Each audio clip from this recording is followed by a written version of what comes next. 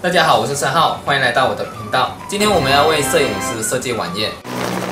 不管你是拍照片还是摄影，相信你都会把你的作品放在各大的社交媒体上面。可是，如果你要建立好自己的个人品牌的话，那么你就需要一个网页。我相信每一个摄影师都有自己的个人的风格，所以要找一个网页设计师来为你量身定做一个网页的话，可能会花一段时间和金钱。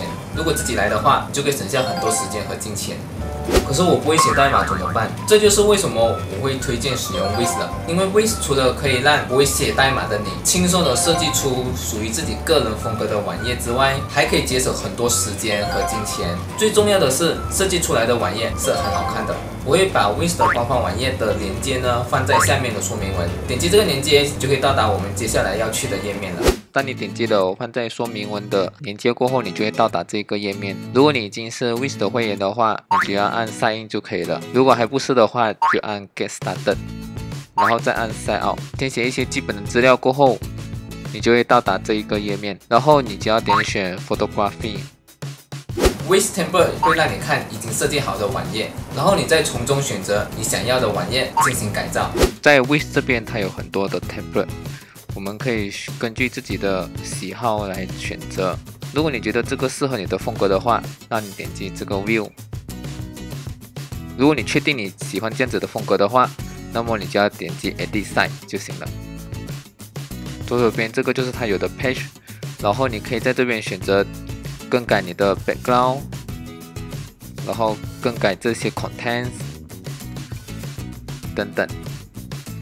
或者你也可以加其他的东西进来。网站算是设计好了，这个时候呢，就是上传你的作品以及更改里面的内容了。点击这里的图片，然后按 Setting，这里提供了很多选项。你可以先 set out 一个 Store，然后 Start Now。这里可以根据你自己的喜好来选择，either 是用 Sales Digital 或者是 Sales Digital and Print。这里呢，我就按 Sales Digital。Add more image，然后 set price，然后就按 manage store。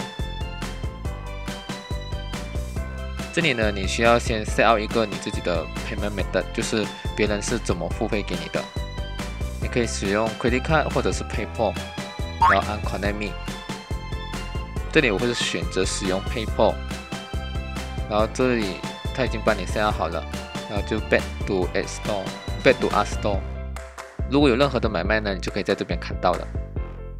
设计好后呢，只要按 save，更改你要的网址，然后按 done，之后呢，再按 publish，你的网页就会让全世界的人看到了。